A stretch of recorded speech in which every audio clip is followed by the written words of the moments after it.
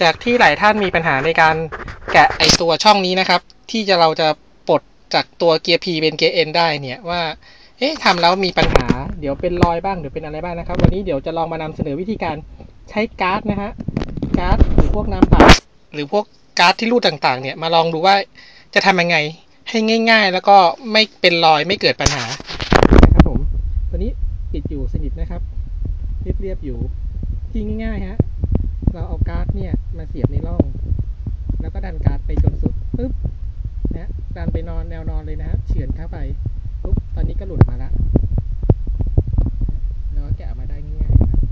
ะครับก็เป็นช่องหลังจากนั้นเนี่ย เราก็เอากุญแจของ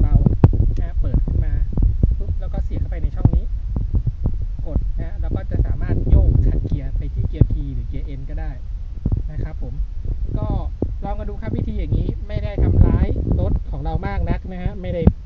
ไม่ช้ำไม่เจ็บไม่เป็นรอยขูดขีดนะครับง่ายๆลองดู